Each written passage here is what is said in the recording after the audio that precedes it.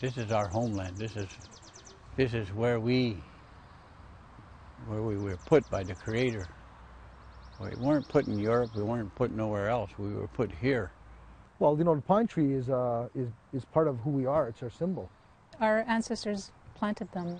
So many generations have enjoyed either picnics, um, picking berries, picking medicines uh, in the pines. They're, they're a place that has meant peace for us. In uh, late 1988 into 18, 1989, uh, you know, the word was leaked out.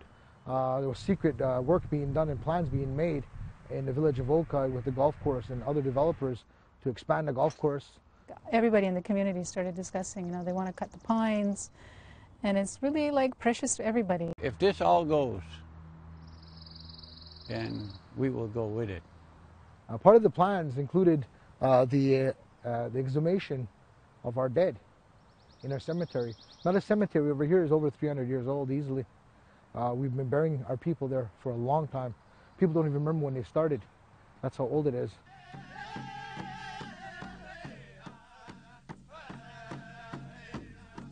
We never blocked a major artery uh, for, for the public. We blocked something that was rightful, is rightfully ours to block uh, to prevent appropriation and exploitation of our land. I was 18 years old. I just turned 18 in May of that year. The tension and the excitement and the adrenaline were just pumping.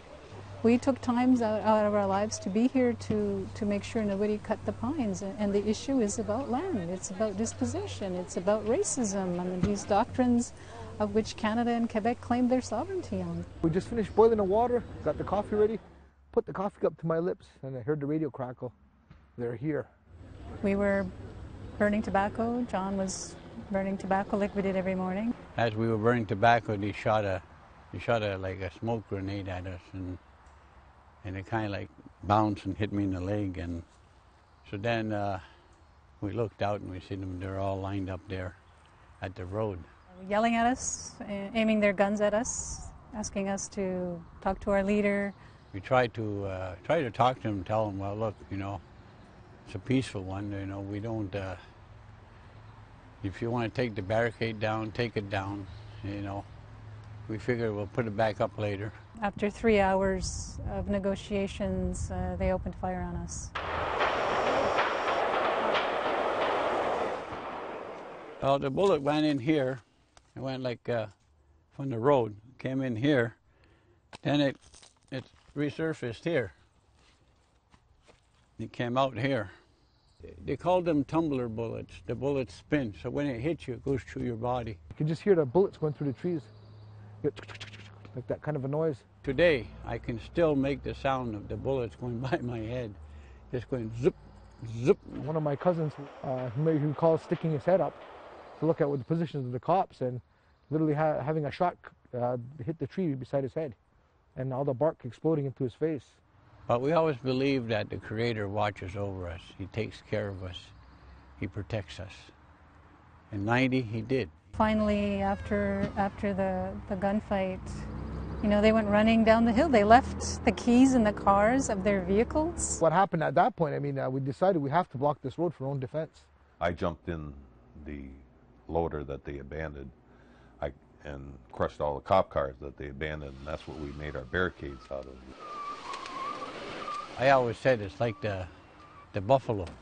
When they tried to drive them over the cliff, some jumped, but some didn't. They turned around and came back. Uh, phone calls were made to Kahnawake to have them uh, in solidarity, uh, uh, to do something in solidarity with the people here defending the pines. The Warrior Society mobilized at that time just to be ready, and then once the gunfire happened, it was just, uh, we had to react. Uh, it was only after the shootout that they were given the word to block that bridge. So we went and we took the bridge and stopped the traffic and that was to put pressure, to have the outside people put pressure on their government to pull the SQ out of there. I felt a little safer that now, okay, now we have a, we have a, a bigger token in the game. This is a really uh, a selfless thing to do, putting yourself in harm's way for your sister community in Kanehsatake, and, and so I, I thought this is this is just amazing. I'm, I'm I was so grateful, I still am.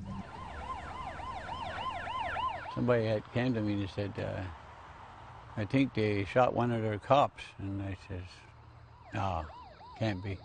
He said, yeah. I said, that's when I, I, I sat there for a while trying to think, you know. I felt proud. I felt proud that we took a stand. Um, trepidation and, and sadness for what happened to that police officer was unnecessary. But it, it, it happened, and we can't, we can't get away from it. It, it happened. We have been fighting over this particular piece of land for almost 300 years. So it's generation after generation who have resisted. And, and so it's, it's practically in our DNA, you know, to, to, be, to, to react this way and to say, you know, we're not, we're not taking it anymore. So that's why we had a nice long hot summer. This is our symbol of resistance.